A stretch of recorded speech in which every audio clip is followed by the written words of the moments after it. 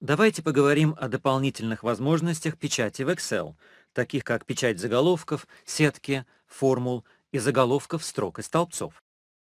Можно даже сымитировать и напечатать водяной знак. Первая строка этого листа содержит название столбцов. Ее еще называют строкой заголовков. Так как лист длиннее страницы, печать строки заголовков на каждой странице может значительно упростить работу с ним, поскольку не нужно будет каждый раз возвращаться к первой странице, чтобы вспомнить, какие данные содержатся в том или ином столбце.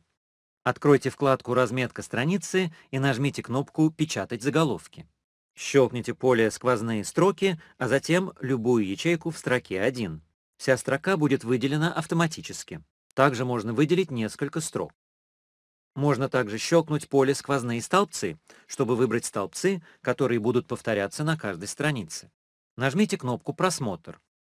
В области предварительного просмотра видно, что строка заголовков будет повторяться вверху на каждой странице.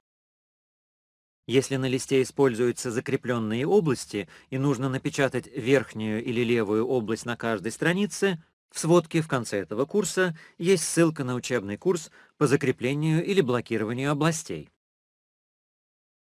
Этот лист содержит примечания, которые отображаются при наведении указателя мыши на красный индикатор в углу ячейки. При печати листа можно напечатать примечания в конце листа или так, как они отображаются на листе.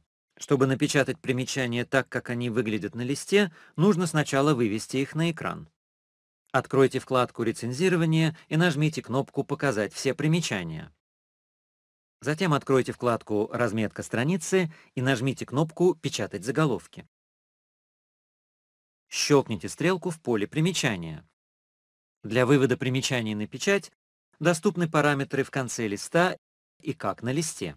Выберите параметр «Как на листе». Нажмите кнопку «Просмотр». Теперь в области предварительного просмотра отображаются примечания на листе.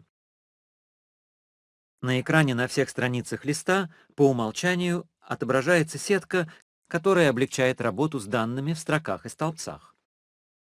Но при печати листа сетка по умолчанию не печатается. Чтобы напечатать сетку, откройте вкладку «Разметка страницы» и установите в разделе «Сетка» флажок «Печать». Теперь лист будет печататься вместе с сеткой, что сделает его более удобным для чтения.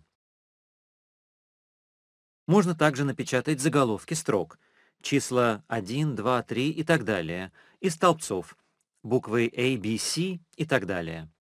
Это упростит работу с распечатанными данными, если у строк или столбцов нет идентификаторов. На вкладке «Разметка страницы» установите в разделе «Заголовки» флажок «Печать». Теперь лист будет печататься вместе с заголовками. Предположим, нужно вставить на лист водяной знак с надписью «Конфиденциально». В приложении Excel нет функции вставки водяного знака, но можно получить схожий результат другими средствами. На вкладке «Разметка страницы» нажмите кнопку «Подложка». У меня уже есть соответствующее изображение, но при необходимости можно найти нужный рисунок, выбрав параметр clipyoffice.com или поиск изображений Bing. Найдите и выберите нужный рисунок, и на вашем листе появится водяной знак с надписью «Конфиденциально». Предположим, нужно проверить правильность всех уравнений на листе, но выделять каждую ячейку с формулой для проверки не хочется.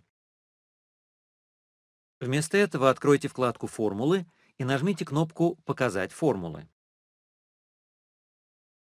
Теперь на листе будут показаны все формулы, а не их конечные результаты. Его можно будет напечатать вместе с формулами. Теперь вы хорошо представляете, как печатать листы и книги. Конечно, это далеко не все. Поэтому изучите сводку в конце курса, а еще лучше продолжайте изучать Excel 2013 самостоятельно.